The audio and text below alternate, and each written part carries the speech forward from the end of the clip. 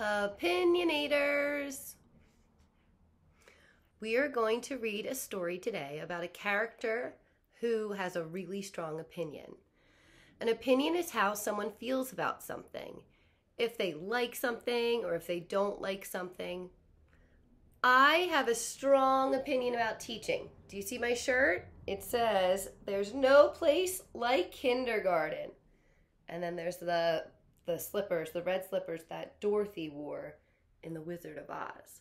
And she clicked her heels together three times. It brought her home, and she would say, There's no place like home. There's no place like home. Well, right now I'm thinking, There's no place like kindergarten. There's no place like kindergarten. Because I miss it so much. In my opinion, kindergarten is the best grade to teach because I get to teach you and have fun at the same time. In kindergarten, we learn through playing and exploring. And that is the best way of teaching, in my opinion. So, in this story, The Watermelon Seed by Greg Pizzoli, we are going to hear about watermelons.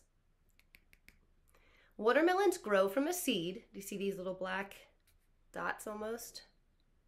Those are the seeds of the watermelon slice he's eating. Um, watermelons grow from a seed on a vine, just like pumpkins do. Remember when we learned about pumpkins? In kindergarten, we even got to feel the seeds. We opened up the pumpkin, we felt those seeds. Well, the seeds, just like in the pumpkin, are a little slimy in the watermelon. But the watermelon tastes sweet. You don't eat the seeds you ever see a black seed, yet, spit it out if you put it in your mouth because you don't want to eat it. You'll see why in this book. And the part that you do eat, that pink part, that tastes sweet. And believe it or not, if you put some salt on top of it, people say that the watermelon will taste even sweeter because it already t- tastes sweet by itself. When we read, I want you to notice the big and bold words and the exclamation marks or the exclamation points or the shouting marks that the author will use within the book to show us that the crocodile is trying to get our attention. Also, listen for the crocodile's opinion about watermelon and why he feels that way. This is The Watermelon Seed by Greg Pizzoli. He wrote the words and he drew the pictures. He made this book all by himself.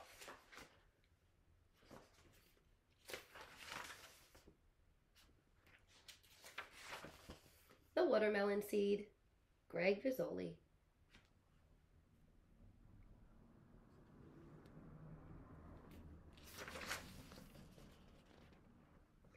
I love watermelon.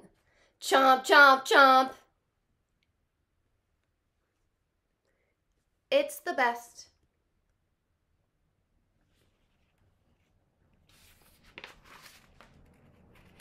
Ever since I was a teeny tiny baby crocodile, it's been my favorite. Chomp, slurp, chomp. If you look carefully, you can see the rinds, the outside of the watermelon. You don't eat that part. I like it for breakfast. I like it for lunch. I like a big salty slab for dinner. And I love it for dessert.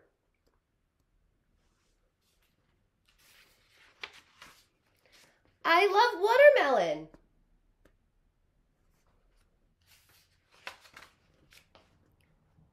Gulp.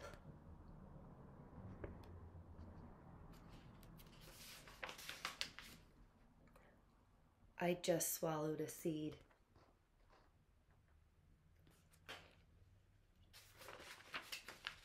I swallowed a seed!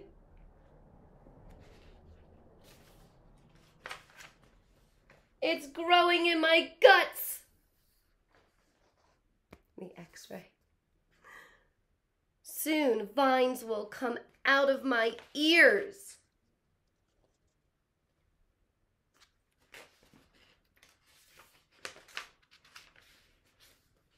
My stomach will stretch.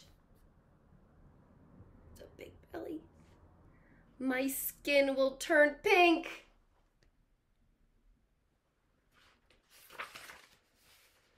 I don't want to be in a fruit salad. Somebody, please help me.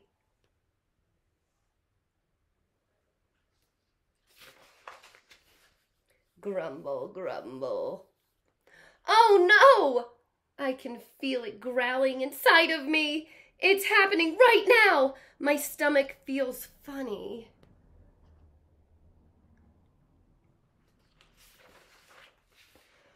Burp.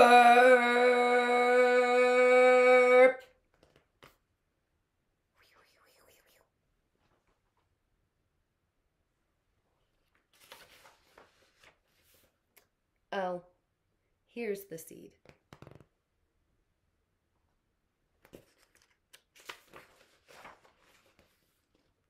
That was too close. No more melon for me. Say, Scout's honor. He promises. Never again. Well, maybe just a teeny tiny bite. Chomp, chomp, chomp.